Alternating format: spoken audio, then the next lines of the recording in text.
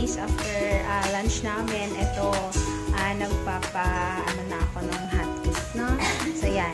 So, meron lang tayong uh, apat na itlog, egg, tapos yung uh, butter, and then condensed, yan.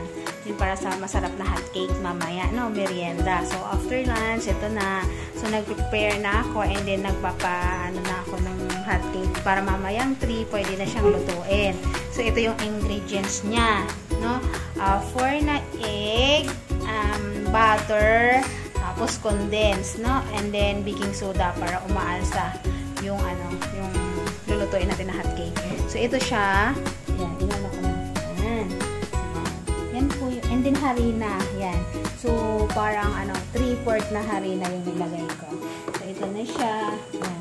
So, habang, ah, yan. Yan, mamaya guys, yan, nakita na. Mamaya guys, ayan na, mga 3, no, mga 3, for, ano na yan, ah, merienda time, no? So, yan.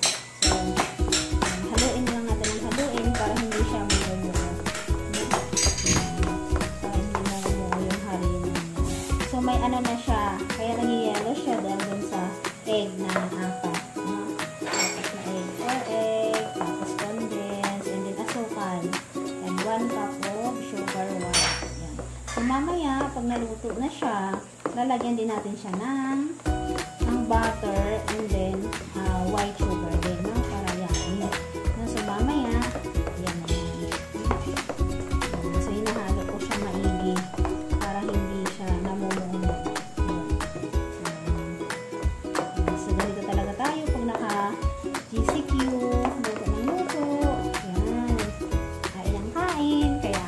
kita.